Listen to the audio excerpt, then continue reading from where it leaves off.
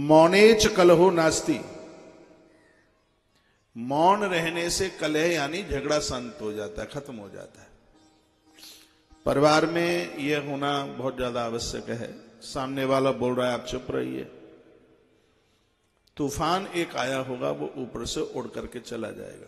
क्रोध को जीतने का एक बहुत सुंदर ढंग है मौन। यम और नियमों में भी, नियम में भी मौन का वर्णन बहुत विस्तार पूर्वक किया गया है। उपवास वाले दिन, व्रत वाले दिन हम सिर्फ़ फुलका छोड़ दें, ऐसे ही वृत्ति, व्रत पूरा नहीं हो जाता।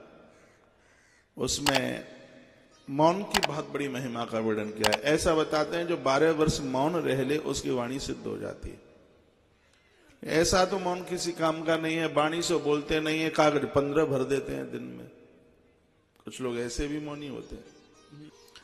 मौन बहुत आत्म शांति देता है।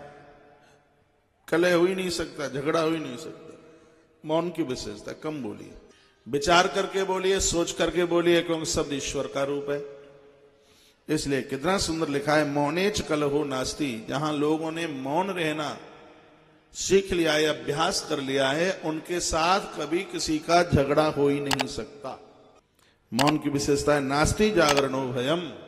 और जो रात्रि को जागते हैं उनके यहाँ पर कभी चोर आ नहीं सकते। आएँगे, डरेंगे, भयभीत होंगे। ये तो उस जागरण की बात हुई। आप भी जागृत रहिए। तो काम, क्रोध लोह मोह, मद और मत्सर, ये डकैत हैं, ये चोर हैं, ये आपको लूट नहीं पाएँगे। इसी संदर्भ में इस लिंग पुराण की इस दिव्य महिमा में आप विगत तीन दिनों से बराबर शिवलिंग महिमा आप सुन रहे हैं। भगवान शंकर की पिंडी की महिमा आप सुन रहे हैं। महात्मा अम्रकंड ने एक पुत्र को जन्म दिया, जिसका नाम मार्कंडेय था। सुने, आज की बात को यहाँ से आरंभ कर रहे हैं। मार्कंडेय के जन्म पर बड़े बड़े संत ऋषि और महर्षि चल करके आए, आशीर्वाद दिया। लेकिन जब वो जाने लगे तो महात्मा अम्रकंड ने पूछा, आप सब तत्वदर्शी महात्मा हैं? तीनों कालों की बात जानते हैं। मैं चाहता हूँ कि मेरा बेटा मेरे बाद में रहे इस धरती पर, क्योंकि ये किसी पिता के लिए शुभ नहीं है कि उसका बेटा उससे पहले चला जाए। ये महात्मा मृकंड ने कहा।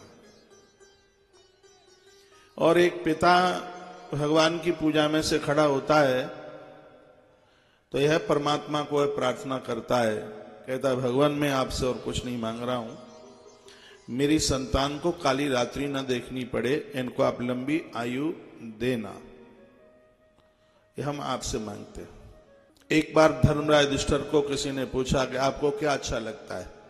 धर्मराय दुष्टर की आँखें भर आई और उन्होंने ये कहा कि ईश्वर ने मुझे बड़ा बना करके भेजा है, ये मुझे अच्छा लगता है। बहुत ध्यान से सुनना बात को। ये बातें ग्रंथों में ही है। पूछा गया कि बड़ा बने के आप आए हैं तो आप पूजे जा रहे हैं इसलिए तो धर्मराय दुष्ट रो पड़े का नहीं। लोग मेरे गले में माला डालें, लोग मेरी पूजा करें, मैं हस्तनापुर की गद्दी का शासक बनू। इस वजह से बड़े बनने की मुझे प्रश्नता नहीं है। मुझे प्रश्नता इस बात की है, मैं अपने भाइयों से पहले आया हूँ दुनिया पहले छोड़ करके जाऊँगा, मुझे अपने भ्राताओं की मृत्यु नहीं देखनी पड़ेगी, मैं इसलिए खुश हूँ। कितनी बड़ी बात है, साधारण बात नहीं है।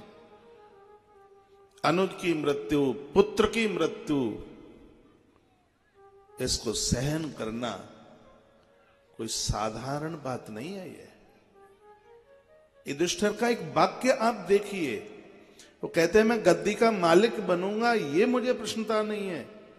मुझे प्रश्नता इस बात की है, पहले आया हूँ, दुनिया छोड़कर पहले चला जाऊँगा, क्योंकि मुझे अपने भाई के सबके ऊपर रोना नहीं पड़ेगा, क्योंकि मैं उस स्थिति को मैं देख नहीं सकता। किसी का भाई, ये तो आप रावण को पूछ लीजिए। मेघनाथ की मृत्यु पर रावण नहीं रोया उतना। जितना कि जिस समय कुंभकर्ण ने अपना शरीर छोड़ा है, उस समय रावण की स्थिति क्या थी?